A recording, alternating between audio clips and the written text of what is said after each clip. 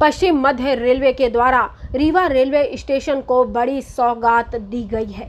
दरअसल रेल मंडल के द्वारा विंध्य वासियों की वर्षों पुरानी मांग रीवा से मुंबई के लिए नई ट्रेन चलाने पर मुहर लगा दी गई है।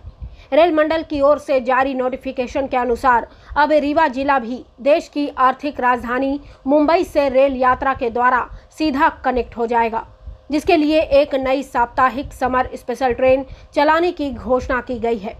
यह ट्रेन रीवा रेलवे स्टेशन से हर गुरुवार शाम चार बजे से चलकर अगले दिन शुक्रवार दोपहर बारह बजकर बीस मिनट पर मुंबई के छत्रपति शिवाजी टर्मिनल पहुंचेगी। वहीं मुंबई की ओर से यह शुक्रवार को दोपहर डेढ़ बजे से चलकर शनिवार रात आठ बजकर पचपन मिनट पर रीवा पहुंचेगी। यह ट्रेन शुरू होने के बाद रीवा संभाग के रीवा सीधी सतना सिंगरौली के लोगों को मुंबई आने जाने के लिए सीधे ट्रेन उपलब्ध हो जाएगी।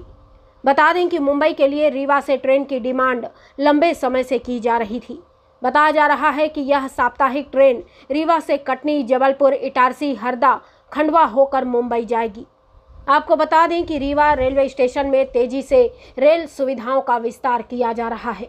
भविष्य में पाँच प्लेटफॉर्म बनाने की योजना है, जिन पर काम चल रहा है, जबकि वॉशिंग पेंट की समस्या को दूर करने के लिए दो नई वॉशिंग पिट का निर्माण भी युद्ध स्तर पर किया जा रहा है, जिनमें से एक वॉशिंग पिट अगले महीने तक शुरू होने की संभावना है।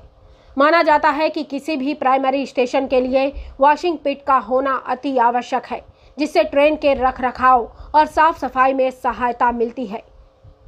दो नई वॉशिंग पिट बन जाने से अब भविष्य में रीवा रेलवे स्टेशन से नई ट्रेनों की शुरुआत के अवसर भी बढ़ जाएँगे।